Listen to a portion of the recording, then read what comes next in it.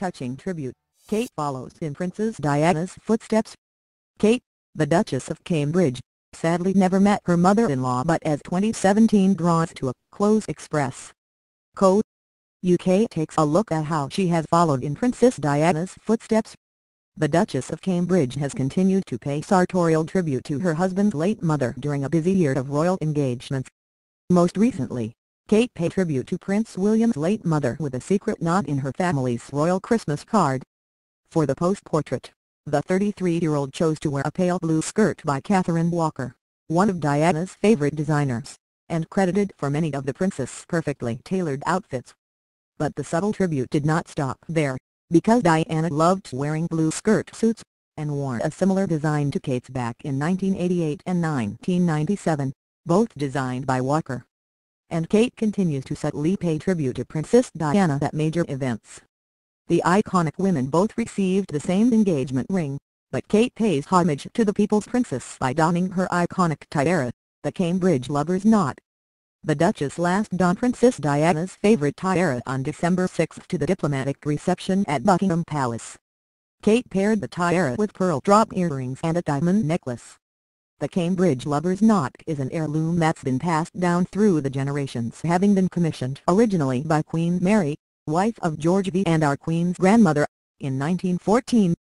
Pregnant with her third child, Kate has really thrown herself into motherhood. And like Princess Diana, it appears Kate recognizes the importance of being a hands-on mother, whether it be traveling with her and William's children on royal beauties or keeping unruly Prince George in line at her sister Pippa's wedding. Kate, like Diana, has also made helping others a number one priority when becoming a royal Princess Diana put HIV-AIDS into the spotlight, famously pictured shaking hands with a patient in a London hospital. And now Kate has joined forces with her husband Prince William and brother-in-law Harry to raise awareness of mental health, with their charity heads together. The Duchess is the brainchild behind the campaign, with William recently saying, it was Catherine who first realized that all three of us were working on mental health in our individual areas of focus.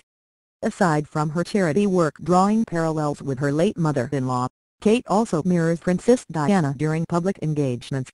When you become the most photographed woman in the world, it is hard not to quickly learn how to sit for the cameras. Kate has mastered the Duchess slant just like her late mother-in-law. Married to heirs to the throne, both women instantly became style icons and have worn similar trends, even decades apart. Princess Diana's style had the world captivated as she continuously broke the boundaries, while Kate tends to see everything she wears sell out in a snap.